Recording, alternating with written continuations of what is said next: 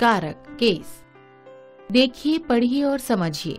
माँ बच्चों के लिए हलवा बना रही हैं। बच्चे मैदान में खेल रहे हैं। ऊपर दिए गए वाक्यों में रेखांकित शब्द किसी संबंध को प्रदर्शित कर रहे हैं। जैसे, बच्चों का हलवे से संबंध बताने के लिए शब्द है। के लिए, बच्चे का मैदान से संबंध बताने के लिए शब्द है। में। यदि उपयुक्त वाक्यों को इस प्रकार लिखा जाए माँ बच्चों हलवा बना रही हैं, बच्चे मैदान खेल रहे हैं। ये वाक्य आपको समझ में आए नहीं ना?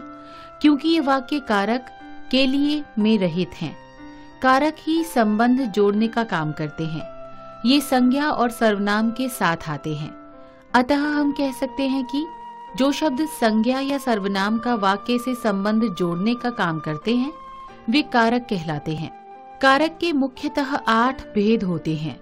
कारक के भेद, कर्ता, कर्म, करण, संप्रदान, अपादान, संबंध, अधिकरण, संबोधन। प्रत्येक भेद के अपने कुछ कारक चिन्ह होते हैं जो निम्नलिखित हैं। कारक, कर्ता कारक नॉमिनेटिव केस विभक्त चिन्ह, ने। कर्म कारक ऑब्जेक्टिव केस विभक्त चिन्ह, को। करण कारण इंस्ट्रूमेंटल केस विभक्त चिन्ह से, के द्वारा। कारक, संप्रदान कारक। डेटिव केस विभक्त चिन्ह के लिए को। कारक, अपादान कारक। अबलेटिव केस विभक्त चिन्ह से अलग होना। कारक, संबंध कारक। पोजेसिव केस विभक्त चिन्ह का, की, के, ना, नी, ने, रा, री, रे। कारक अधिकरण कारक लोकेटिव केस विभक्त चिन्ह, में, पर, कारक संबोधन कारक वोकेटिव केस विभक्त चिन्ह, है, अरे, ओ कर्ता कारक ने, जिसके बारे में बात की जाती है, वह कर्ता कारक कहलाता है, जैसे, नीलम ने पुस्तक खरीदी। पुस्तक किसने खरीदी? नीलम ने। यहाँ नीलम ने कर्ता कारक है कर्म कारक को। जिस पर कर्ता की क्रिया का प्रभाव पड़े, वह कर्म कारक कहलाता है, जैसे, राम ने सोहन को पत्र लिखा। राम ने किसको पत्र लिखा? सोहन को। यहाँ सोहन को कर्म कारक है करण कारक से के द्वारा। काम करने के लिए कर्ता को जिस साधन की आवश्यकता होती है, वह करण कारक कहलाता है, जैसे बच्चा खिलौने से खेल रहा है। बच्चा किससे खेल रहा है? खिलौने से। यहाँ खिलौने से करण कारक है।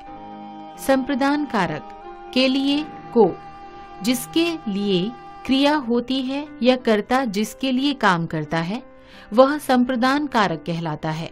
जैसे, माँ बच्चे के लिए दूध लाई, माँ किसके लिए दूध लाई? बच्चे के लिए। यहाँ बच्चे के लिए संप्रदान कारक है। अपादान कारक से अलग होना। संज्ञा या सर्वनाम के जिस रूप से गिरने, दूर होने, अलग होने के भाव का पता चले, उसे अपादान कारक कहते हैं। जैसे, आसमान से वर्षा की बूंदें गिर रही हैं।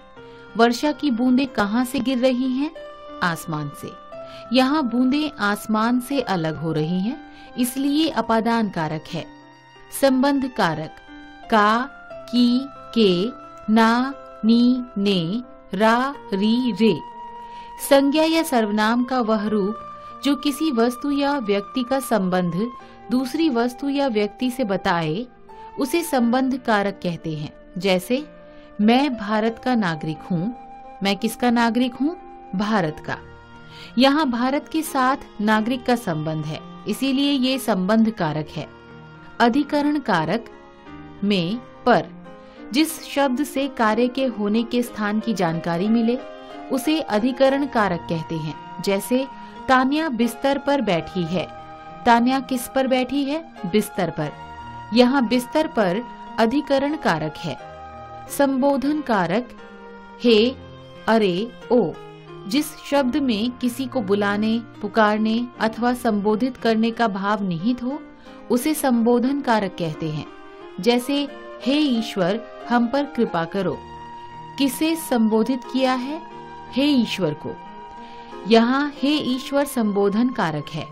विशेष, कारक लगने पर संज्ञा, सर्वनाम तथा विशेषण तीनों का रूप बदल जाता है। वह औरत, मूल रूप, उन औरतों ने कारक लगने पर। आओ पाठ दोहराएँ।